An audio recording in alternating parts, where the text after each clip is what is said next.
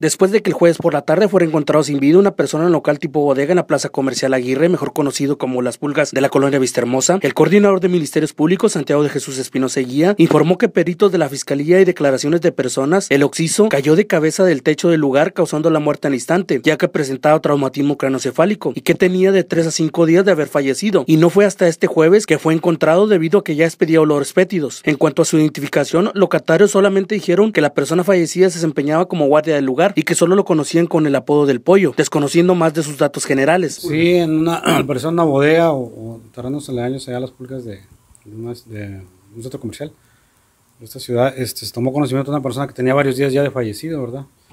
Este, ya eh, en estado de descomposición.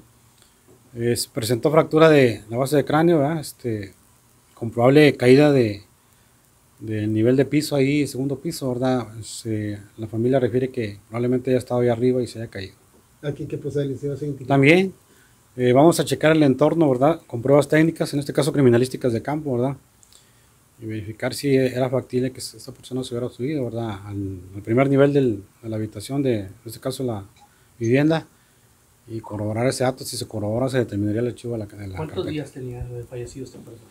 Eh, no tengo el dato aquí, pero sí tenía varios días ahí según el diagnóstico de médico forense. ¿Trabajaba ahí?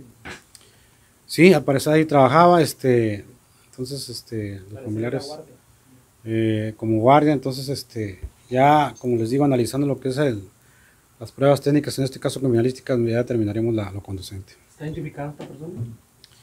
Estaba en, en, vías de identificarse por la familia, ¿verdad? Entonces, este, pues ya determinaremos lo conducente en su momento necesario por lo que aún se está en espera de que familiares reconozcan el cuerpo para poder identificarlo. Para Noticiero Rancherita del Aire, Sergio Hernández.